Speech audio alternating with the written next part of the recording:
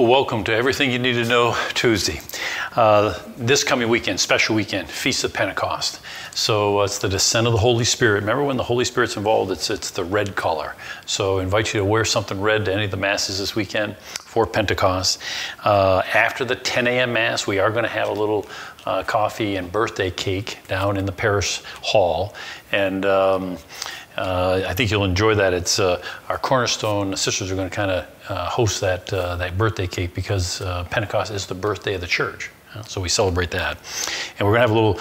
Uh, remember, we're also celebrating our different cultures, and so we got six tables set up of some different cultures and countries, and so we'll, we'll get down there and learn, learn a little bit about them.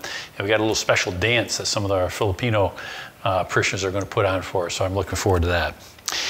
Hey, six uh, newly engaged couples are going to be going through pre Cana here starting the first uh, weekend in June. So I'd ask you to keep them in your prayers huh, as they prepare for this wonderful sacrament in their life. We used our upper room in the new Parish Life Center twice this past week. It uh, was really working out well. We, we had our ministry appreciation evening up there, and it gave me a chance to thank all of our volunteers for what they do here for St. Pius. They're so critical, and we've had new people joining us, and I'm really, really pleased about that. And certainly, if you're thinking you want to volunteer, you know, let us know. We'll find some. We'll find something for you to do. Um, and the second time we had last week a uh, an evening of reflection for women.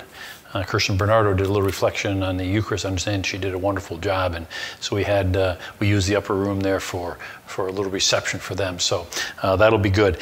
We regret we weren't able to do a cornerstone retreat this year, but we do have one scheduled for next year uh, in May. So that'll be good. Um, one of the uh, things I want to highlight each week for the next seven weeks is the naming of our rooms in the new Parish Life uh, Center. So instead of calling all these rooms, you know, room one, two, three, or A, B, C, we thought we would name them after a saint uh, and, and have the saint match the use of the room and it also gives us a little bit of an educational opportunity to learn, learn a little bit more about the saints.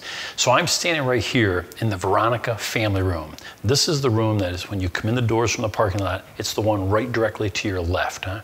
right near the, uh, the information hub. So we're going to call this the Veronica room because remember the sixth station, uh, Veronica wipes the face of Jesus. And this room will largely be used for uh, planning for funerals, we already have a bereavement group that's meeting here on, on Monday nights right now. And so this is a room to help people oftentimes in their pain. So we're going to call this the Veronica room. And, and, and other weeks I'll bring you to another room and tell you the saint's name that we'll be using. And uh, so I think it'll make some sense to you. Little thought for the week. A pint of example is worth a barrel full of advice. A pint of example is worth a barrel full of advice. So look forward to seeing this weekend. It's one of the great feasts in our church, the Feast of Pentecost. So, so join us.